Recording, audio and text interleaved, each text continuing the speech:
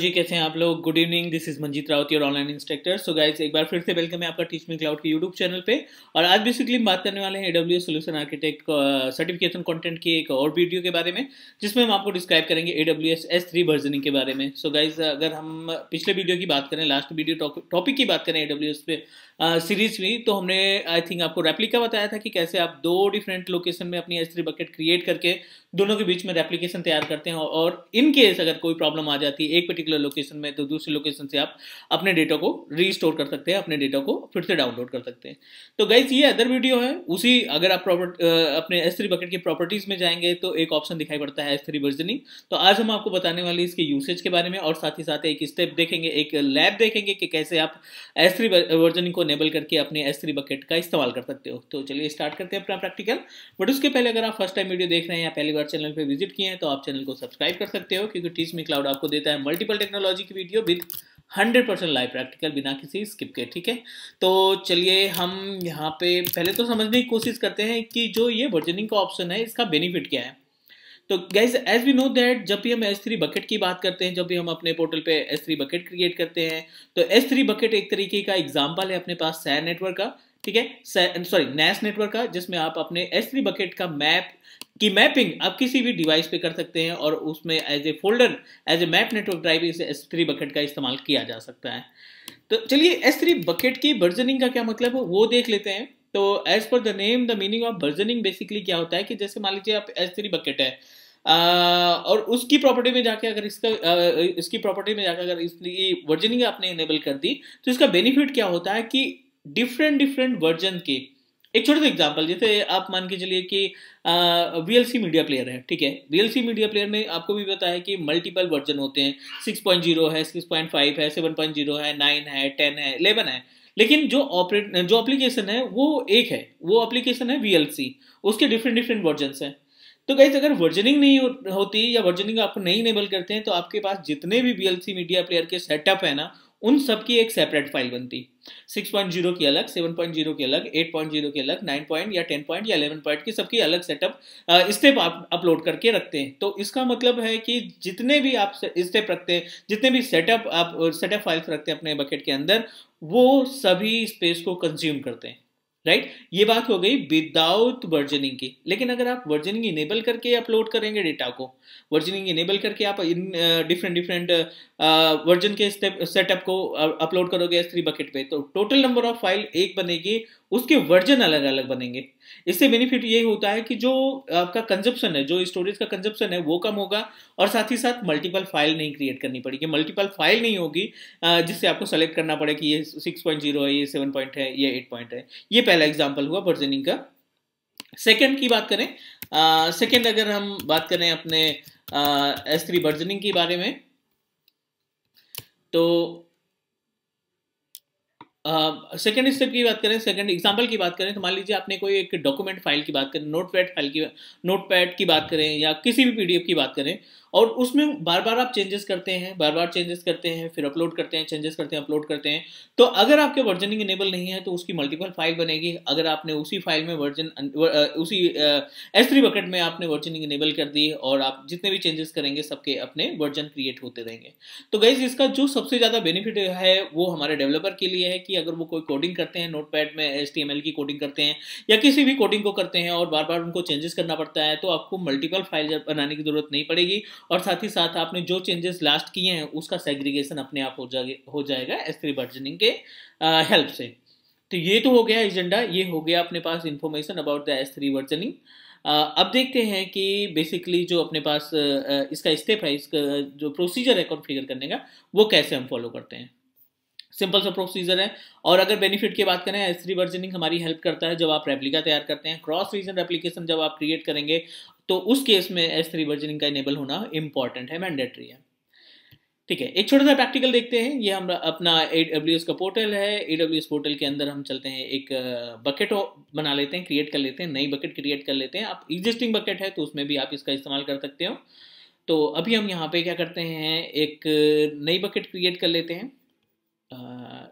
Click create और यहाँ पे कोई सा भी नाम दे देते हैं, कोई सी क्लास 1988 के नाम से हमने एक नेम डिसाइड कर लिया कि इस बकेट का नाम जो है क्लास 1988 नॉर्थ वर्जीनिया लोकेशन में हम इसको क्रिएट करना चाहते हैं। अगर आपको ब्लॉक करना है तो ठीक है तो यहाँ से आप अलाउ करना चाहते हैं तो अलाउ कर सकते हैं। अदरवाइज़ ये सभी ऑप्शन आपको मिलेंगे पोर्टल पे जब आपकी बकेट क्रिएट हो जाएगी। इनक्रप्शन डिसेबल रहने देते हैं, आप सिंपल सा क्रिएट कर दो। अगर ये आपका नेम अप्रूव हो गया तो डेफिनेटली अपनी बकेट क्रिएट हो जाएगी। यस चलिए, यहाँ पे बकेट तैयार हो गई अपने पास क्लास 1988 के नाम से। अब इसमें हम देखें तो बकेट ओपन करते हैं। बकेट ओपन करने के बाद आप प्रॉपर्टीज़ पे क्लिक करोगे तो प्रॉपर्टीज़ पे पहला ऑप्शन है बकेट वर्जनिंग ठीक है ना? बकेट वर्जनिंग का मीनिंग क्या है? अभी ये कंडीशन डिसेबल है। आपको क्या करना पड़ेगा? इसको एडिट पे क्लिक करना पड़ेगा और एडिट पे जाकर के इसको क्या कर देना पड़ेगा? इनेबल कर देना पड़ेगा। बकेट को बकेट की वर्जनिंग इनेबल करने का बेनिफिट क्या होगा? वो हम अब आगे देखते हैं, इसमें डेटा अपलोड करके। आपने वर्जनिंग इनेबल कर दी दैट्स गुड अब आप चलते हैं, एक नोट पैड पे एक फ़ाइल बना लेते हैं। जैसे मान लेते हैं, ये अपने पास नोट पैड है। इसमें हमने लिखा हेलो हाउ आर यू ठीक है, ये हमने इसके अंदर मेंशन कर दिया। ठीक है? और इस पेज को हम कर देते हैं सेव ठीक है? इस पेज को हम सेव कर देते हैं अपने डेस्कटॉप पे ही रख लेते हैं। डेस्कटॉप पे रख लेते हैं इसको। कोई सा भी नाम देके हम इसको सेव कर लेते हैं अपने डेस्कटॉप पे। यहाँ पे डेस्कटॉप का सिलेक्शन किया डेस्कटॉप पे हमने इसको नाम दे दिया। टेस्ट फ़ाइल के नाम से, ठीक है? फ़ाइल का नाम हमारा टेस्ट फ़ाइल है। आपने ये फ़ाइल क्रिएट किया ये अपने पास आ गई टेस्ट फ़ाइल, इसमें जो अपने चेंजेस किए होंगे, जो एडिट किए होंगे, वो पूरी इन्फॉर्मेशन आ गई, ठीक है? एज इट इज़ इस बकेट को हम कर देते हैं अपलोड यहाँ पे जाते हैं ऑब्जेक्ट वाले सेक्शन में बकेट के प्रॉपर्टीज़ में ऑब्जेक्ट वाले सेक्शन में जाते हैं, और अपनी फ़ाइल जो अभी आपने वर्जनिंग चेंज कर रखी है, जो चेंज की हुई फ़ाइल है, उसको आप अपलोड कर दो। तो डेस्कटॉप का लोकेशन हमें सेलेक्ट करना है टेस्ट फ़ाइल सेलेक्ट करना है ओपन कर देना है, ये सक्सेसफुली आपको चेक मार करके अपलोड पे क्लिक कर देना है। फ़ाइल की साइज़ छोटी है तो इमीडिएटली इंस्टॉल हो गई इमीडिएटली अपलोड हो गई। एक छोटा सा पार्ट अब, अभी हमें और परफॉर्म करना है और वो है अपना इसको परमिशंस में जा कर के अलाउ करना। परमिशन में जा कर के पब्लिक एक्सेस अलाउ करना। देखिए यहाँ पे ब्लॉकिंग है तो ब्लॉक नहीं करना, आप इसको अनचेक मार कर दो। अनसे कंफर्म कर लेते हैं यहाँ पे इसको। डन अब जो आपने डेटा अपलोड किया था उस डेटा की प्रॉपर्टी में जा करके जब आप इसको एक्सेस करेंगे फॉर एग्जांपल ये आप पोर्टल पे गए और उस बकेट के प्रॉपर्टीज़ में गए यूआरएल को कॉपी किया और यहाँ पे पेस्ट कर देते हैं। कंट्रोल वी एंटर ठीक है। अभी ए, आपका एरर दिखाई पड़ रहा है क्योंकि आपको क्या करना है अपनी बकेट जो डेटा है ना उसको पब्लिक भी करना पड़ेगा। तो ठीक है, कोई दिक्कत नहीं, हम जाके इस अपने उस डेटा की प्रॉपर्टीज़ में जा कर के यहाँ पे गए हम, और ये अपने पास फ़ाइल है, फ़ाइल पे क्लिक किया, और इसको हमें कर देना है पब्लिक मेक पब्लिक पे क्लिक कर देना है।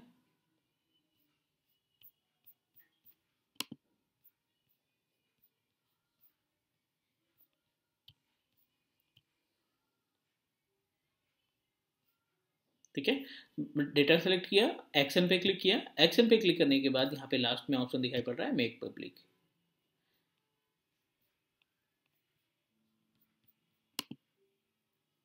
everything is okay make public हो गया। अब आप इस यूआरएल को अगर रिफ्रेश करते हैं ना तो आपको ये डेटा दिखाई पड़ रहा है जो आपने चेंजेस किया था। ठीक है hello how are you question mark आपका डिस्प्ले होने लगा लेकिन अगर आप फिर से उसी फ़ाइल में, उसी टेस्ट फ़ाइल में जा कर के कोई और चेंजेस करते हैं। ये पहला था, ये जिस भी टाइम पे ड्यूरेशन पे आपने टाइप किया होगा, उसकी डिटेल है अब आगे हमने टाइप किया आई एम फाइन ठीक है? Thank you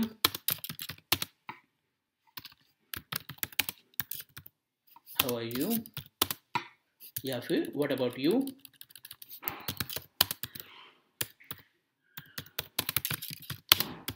चलिए, ये आपने चेंजेस किए, दो लाइनें आपने और ऐड कर दी इसमें। अब आपको क्या करना है? सेव एज नहीं करना है हमें उसी फ़ाइल में सेव करना है। हमने उसी फ़ाइल में फिर से सेव कर दी। तो ये दोनों लाइन आपकी ऐड हो गई। अब आप वर्जनिंग इनेबल है तो अब अगर आप उस एस थ्री बकेट में फिर से चलते हैं हम, ठीक है? इस बकेट में फिर से चलते हैं हम अपने बैक करते हैं। सर्विसेज़ में चलते हैं। एस थ्री बकेट पे क्लिक किया। क्लास 1988 जिसमें हमने वर्जनिंग इनेबल कर रखा है। फ़ाइल का नाम test file dot E X T upload पे क्लिक किया। सेम लोकेशन से सेम फ़ाइल आप फिर से उठा लोगे टेस्ट फ़ाइल इस बारी इसमें कुछ चेंजेस हुए हैं। सेलेक्ट करिए और इसको आप अपलोड कर दीजिए। डन सक्सेसफुली आपने अपलोड किया। अपलोड करने के बाद, अच्छी बात यह है कि आपने इसका वर्जनिंग अनेबल कर रखा है। तो आप देखो यहाँ पे बकेट के अंदर सिर्फ़ आपको एक ही फ़ाइल दिख रही है, जबकि आपने दो चेंजेस करके अपलोड किए हैं। ये सिर्फ़ इस वजह से हुआ ताकि क्योंकि आपने अपने इस एस थ्री बकेट की प्रॉपर्टीज़ में जाकर के क्या कर रखा है, इस बकेट की वर्जनिंग को इनेबल कर रखा है। तो जो चेंजेस होगा, उसी उतना ही इम्पैक्ट पड़ेगा स्टोरेज के ऊपर, कोई डबल फ़ाइल या कोई अनदर फ़ाइल नहीं क्रिएट होगी। तो चलिए, ये हो गया अपने पास हो गई बटनिंग की डिटेल अब देखते हैं इसमें जो एक्टिविटी होती है, वो आप कैसे मैनेज करोगे। यहाँ पे है लिस्ट वर्जन्स अगर आप इस पर क्लिक करते हो तो ये आपको नंबर ऑफ़ लिस्ट बता रहा है। ये आपके पास आ, जो पहली फ़ाइल थी इतनी थी दूसरी फ़ाइल की साइज़ इतनी हो गई। और अब आप अपने फ़ाइल किसी भी फ़ाइल पे ये पुरानी फ़ाइल है अगर आप इसको सेलेक्ट करके इसकी प्रॉपर्टी का यूआरएल चेक करेंगे तो आपको पुराना डेटा दिखेगा जो हमें दिखाई पड़ा था अभी। अगर हम इसको कॉपी करें यूआरएल को तो आपको पुराना डेटा मिल जाएगा।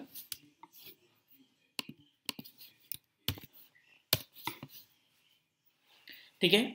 नेक्स्ट अगर आप लेटेस्ट वाले डेटा को चाहते हो लेटेस्ट डेटा को आपको चेक करना है तो आप लिस्ट वर्जनिंग पे क्लिक करेंगे और अपने लेटेस्ट डेटा को क्लिक करेंगे लेटेस्ट फ़ाइल को क्लिक करेंगे।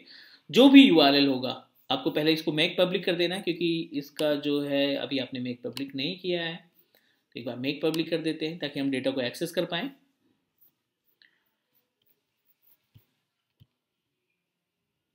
ठीक है ए डब्ल्यू एस पोर्टल ने बहुत से चेंजेस किए हैं अपने पोर्टल के ऊपर तो नोट एन इशू थोड़ा सा ध्यान रखना है आपको।